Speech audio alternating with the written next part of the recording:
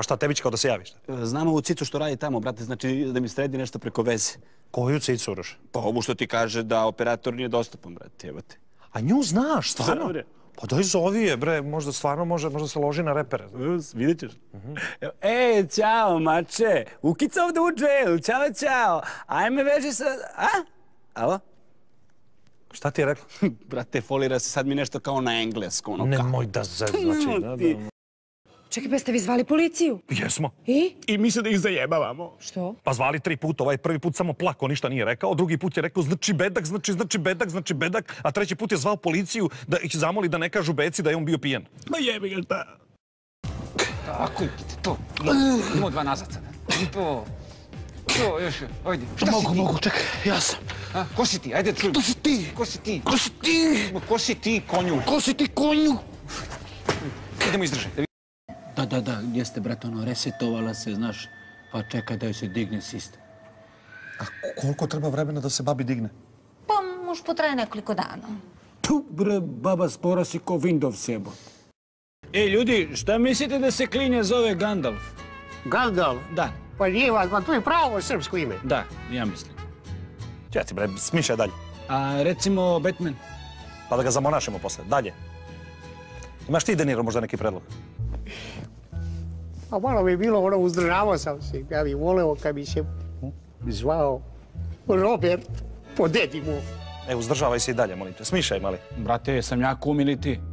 Ti si kum, ali ja sam supervizor. Neću daš detetu neko glupo ime, bre. Tu deteta zezaju ceo život. Pa dobro, upravo se, braćela, ajde polako. O šta? Kako ćemo? Imena, imena, imena.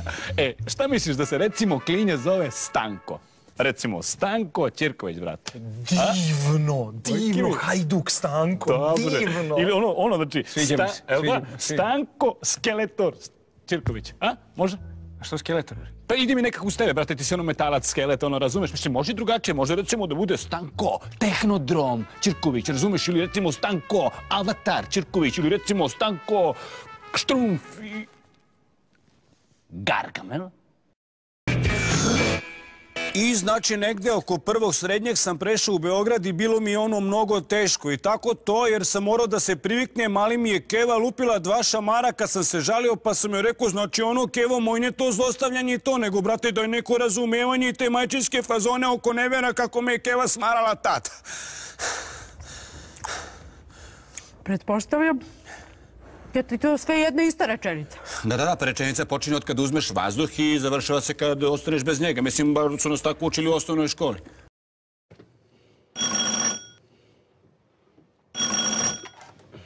E, čao, fajtice, kako se, šta radiš? Evo ništa.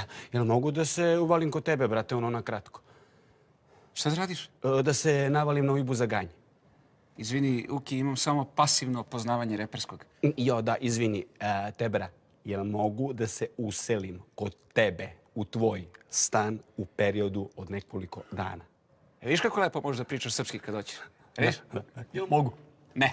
Čekaj bre, fajtice, stani, molim te, moji su mi izbacili sa gajbe, brate. Rekli su da se ne vraćam dok ne nađem neki pošten posao, tebra. A znaš šta to znači? To znači, brate, da nema zelene grane. Ej, čao, kako si, šta radiš? Evo ništa. Čekaj, bre, od kada oni imaju nešto protiv zelene grane, a? Ranije su voleli što si reper. Da, brate, ali više nisam popularan, kapiraš, ne dobijam kintu za nastupe, a majke mi moje, a malo im je i sumnjivo, brate, ovo što piše knjigu. Čale kaže da danas pošteni ljudi, brate, ono, pišu samo kad popunjavaju, brate, one uplatnice. Pa lepo ti kaže. A Beca? Ma koja beca, brate, ona ih podržava, brate, kaže ono, to ti je alarm za buđenje tebe, ono, kao vreme ti je da porasteš. Alo, bre, ja da porastem, pa ja sam, bre, viši od nje, brate. Dobro, Uki, jesi išao kod Marijane? Neće, brate, bio sam neće. Kao, znaš, on je u fazonu, niko ne sme da gazi, brate, tamo gde on živi, razumeš, jer ovaj, on je uvek bos, kapiraš, i onda da ne pokupi neke gljivice. Jeva, ma on je jedna ogromna debela gljivica, znaš? Ne, ne, brate, ne može da se gazi. Uki, vidi, potpuno te razumem. I da si u problemu, i da si u frci. Evo, veruj mi, tačno znam kako ti je. Ali shvati i mene, bre. Ivana mi je trudna. Znači, nema šanse. Ona je sad i osjetljiva.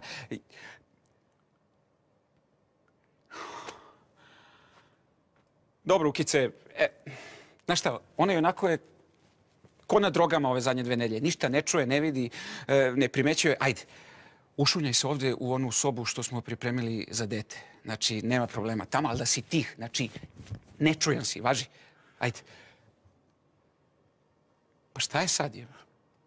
Kaki mi se...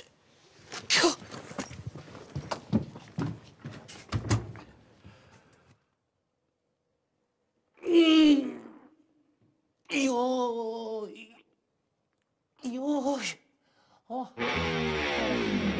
Oh. Joj, super. Ajde, ajde, ajde, ajde. Pa. Ja sam počeo da računam, brate. Au, to mora da je potrebno. Ma ne, ma ne, ma ne, ma ne, ma ne bre. Ono, računam, brate, ja imam sad 20 i nešto, kapiraš, ona ima 50 godina i to je sad super, ono, milf ludnica, meni to okej, potpuno kao Samantha u seksi gradu. Uh. ono. Ti si to gledao? E, e, ej, nemoj da prekidate, brate, znači, poremetili ste mi tok misli, kapiraš, znači ja računam, ako ja imam sad 20 i nešto, ona ima sad 50-60 godina, kapiraš, za 10 godina imam 30 i nešto, brate, ona ima 1000, brate, bre, ona može meni da bude dinosaurus, kapiraš, a ja ne želim da budem babojebac, ono, kao neki.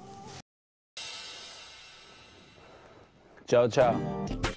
Sada ću da vam izrecitujem jednu pesmu od jednog pesnika kog ja jako volim i sa kojim ono potpuno se osjećam. Znači, možda sam te voleo. A možda volim te još? Možda sam prema tebi nekad bio loš. Ono. Mislim, nema opravdanja i znam da je kraj. Ali devojko, znači jedno znaj. U mom životu ti si ostavila trag, okej? I ja sa tebi ono kao više nisam drag. Okej. Mislim, kad god ti nešto zatreba, bit ću tu. Veruj mi, znači, kad god ti... Ja, e, e, e, bit ću tu. A sad, pošto želiš, ja ono nestaću. Mhm, mhm, mhm. Da, ova pesma znači ima i refren kasnije, razumeš, koji Beco ti odlično znaš. Znači, odlično ga znaš, ali ne smeš da priznaš tamo prijateljima ili te blam, kapiraš? Znam ja sve, ne, znaš ti meni. Znači, okej, ovo je za tebe. A za sve ove druge, Znači, znaš šta za sve druge? Ovo, evo ga, evo ga. Evo ga. Mater, joj, obesit ću se. Šta je, šta gledaš? Be, mater. Šta hoćeš ti? Pa rekao sam ti, brate, da se pozdravim. A gde ćeš? U šume.